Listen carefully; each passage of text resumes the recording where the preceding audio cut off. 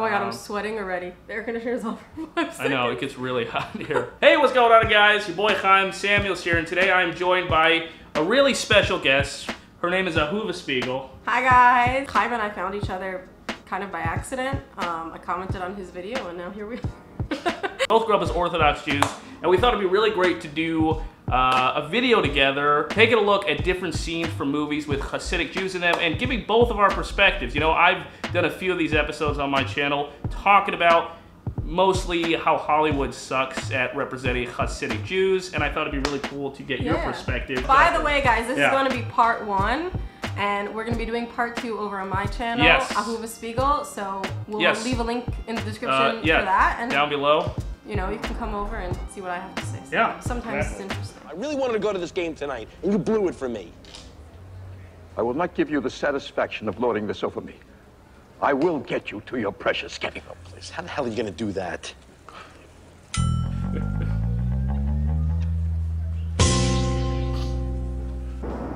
Oh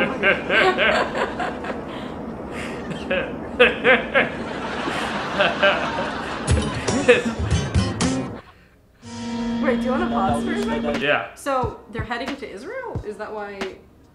Where are they going? Okay, so a little context. I think he's trying to get to a game or a football game, and they're running late, so they have to take this flight. I don't understand why there's a bunch of Hasidic Jews on there. I have no idea what the joke is. Maybe it's like cheap airlines. Maybe it's a Jewish joke. I don't know. Probably really cheap. Which I find really funny because Jerry Stiller is actually Jewish. First of all, let's look at the costume. Do they even remotely look good? No. Um, it's also funny because like, okay, they're wearing hats, not shtreimels, right? Right. Like, if you are just like regular Orthodox, like like ultra Orthodox but not Hasidic, um, you're allowed to take your hat off when you sit down on a plane. Most of most men wear their hats when they pray three times a day, Yeah. not when they're sitting in an airplane. Right. Um, it's the Hasidic Jews that are really intense and will leave their their fur hats on. Right, but they're not. They're not even wearing the right hat. So they're wearing the wrong hat. already off the bat. Yeah, and then the facial hair Yeah. is done poorly, but I mean, and it just doesn't make sense. Like, what kind of Jew are you trying to be? Because there's no sect of Jews that sit like that on a plane. it's just it's really strange, right? Well, number one, why isn't there any wives? It's just them. right. Where- they- like if they were going to Uman for Right. Rosh Hashanah, um, you know, maybe, but that's Yeah. clearly not where this. So their wives going. are not even there. I don't know where they went. They just all a bunch of single guys on the prowl. Uh, Like no Yeah. religious man gets to get away from their wives to go on a plane. No, like that's no. not happening. not, especially not this amount of. Second of all, yeah, they got the long uh, sideburns on the side. That doesn't fit in with the hats they're wearing. Uh, overall, the aesthetic is just ridiculous. It doesn't make sense. The one thing that I think is accurate is the amount of them that are wearing glasses. Because that's a really Jewish thing. We have horrible eyesight. and we almost true, all yeah. I had laser eye surgery. Really? Like I had horrible vision too.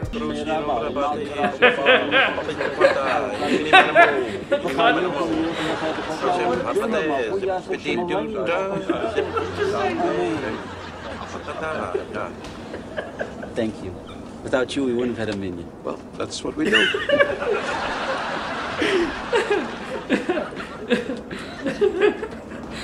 Okay, that was ridiculous. You're lucky I talk part out of kibbutz, or I never could have talked that way out. Okay, if I were lucky, you wouldn't be living in my basement. If I were lucky, you wouldn't be so fat. Okay, what does that have to do with luck? I can't hear you. You're too fat. Oh, God. What was that? I don't know. Gentlemen, we've hit a bit of weather here. It's going to be pretty bumpy the rest of the way to St. Louis, so please make sure you keep your seatbelts fastened. Thank you. Pills. You took them all in New York. Oh, God. Arthur, just relax, okay? Can't relax. I'm terrified. I wish I really prayed with these men instead of just making silly noises. I I love Jerry Stiller so much. Rest in peace. Oh my god. I mean, there's so much to talk about Yeah. about this. Where do we even start? Okay, number one, they're just part of what we call a minyan. That's when men are pretty much supposed to pray with uh, at least ten or more men. The bad part about how this works is you don't just pick up any random men. They need to be Jewish. So, and in this show, they're not Jewish. So it doesn't make sense they'd be praying with these 10 men. Oh, they're not Jewish in the show. They're not Jewish in the show, so there's no That's reason why. hilarious. Yeah, so that would never happen. Yeah. You know, also they would catch on that these people don't actually know how to pray. Like it only Right. counts if they're actually praying. Well, it depends. Would it would it matter? Because I know because my, the way that I grew up, like I grew up with my father being a rabbi, like pretty much like a lot of the congregants didn't know how to pray or anything like that. It didn't really matter, but did it did it make a difference? Like I mean, in my community, if you couldn't actually pray, like you wouldn't be considered Really? And like they're very judgy. Really? That could be a New York Huh. thing and not like an Orthodox thing. that's really interesting. Um, because New York Brooklyn communities can be elitist and stuff. But Huh. I can't imagine that if if there were just ten men and Yeah. two of them weren't actually able to pray, that that would be considered a real minyan in like a rabbi's eyes in Brooklyn. that's really funny. I didn't know that. But also, it's so funny because like they didn't even move from their seats. They just stood up and then like they took up the rest of the aisle. Like what stewardess lets that? I don't know- I don't know what's going why- on. Why, What why flight are is they this? on the way to St. Louis? Like I don't. There's not that like. What's the context? I don't know why a bunch of Hasidic Jews are flying there without their wives and they're picking up strangers to be in a, a group of 10 men. None of this makes sense, but yet it's still absolute gold all the way Yeah, around. awesome. Is this horror? No.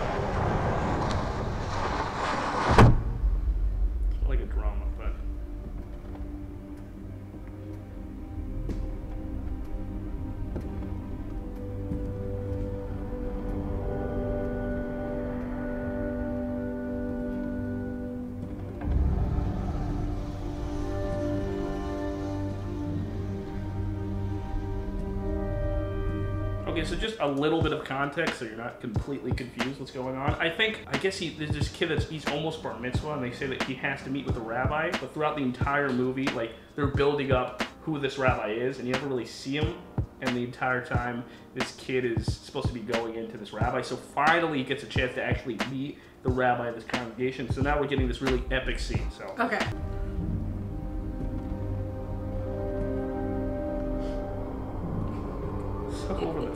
I don't know what.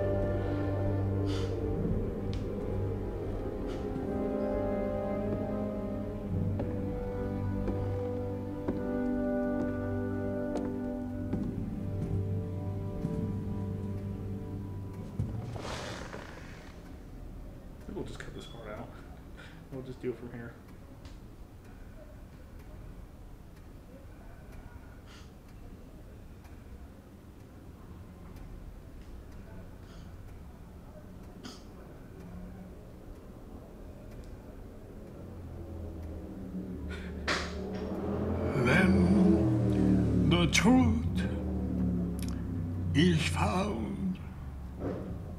Be lies.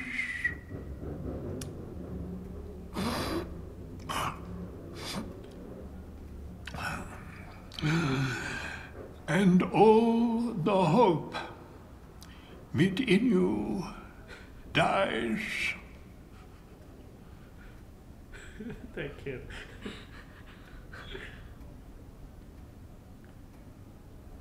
Then what?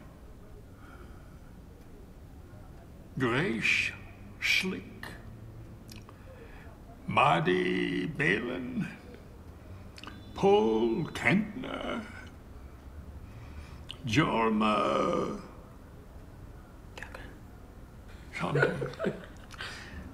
These are the members of the airplane. Ah.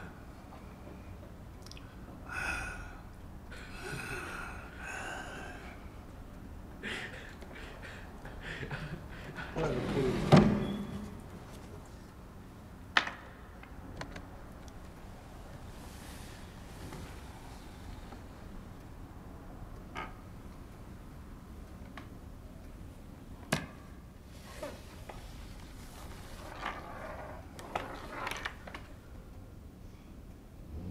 a good boy.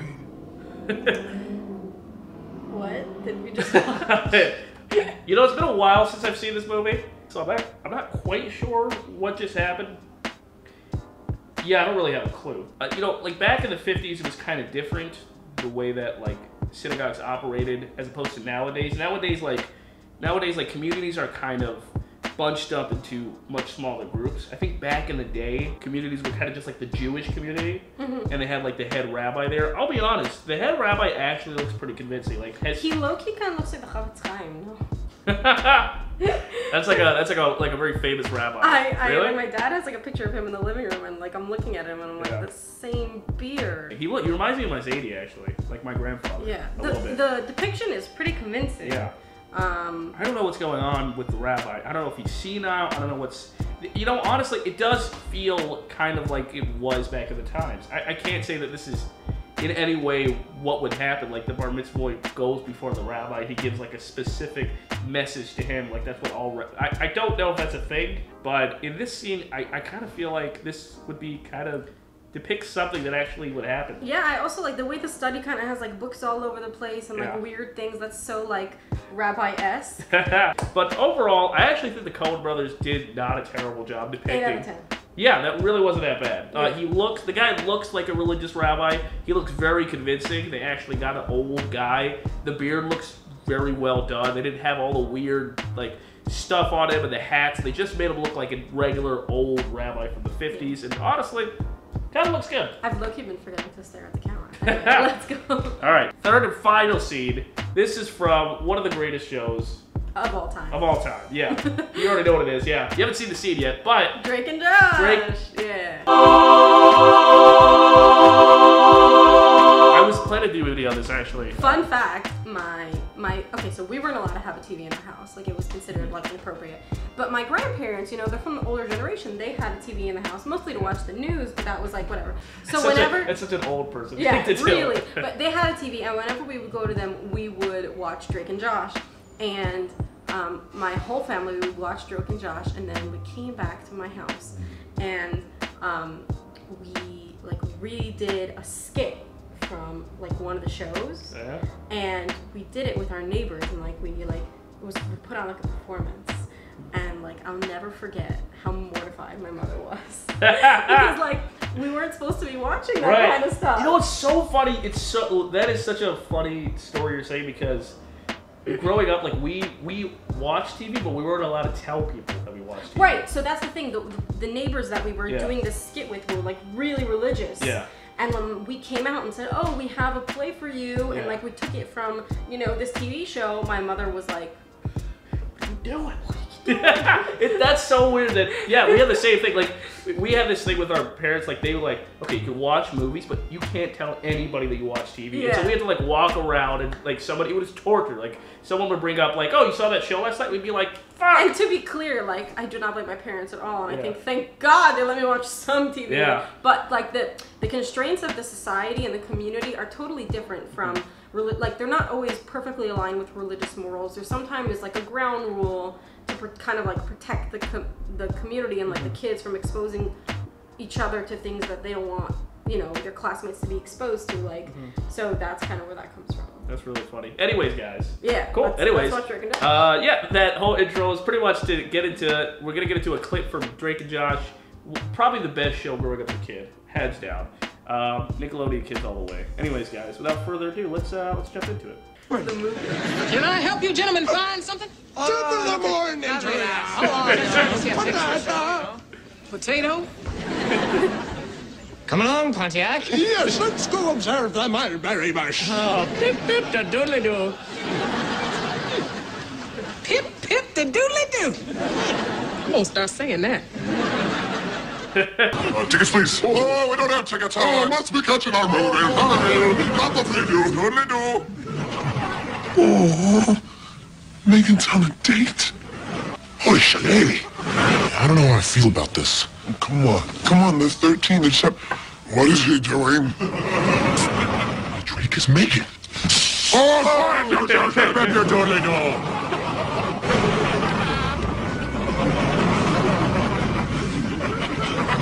What are you talking about? Mind your papers.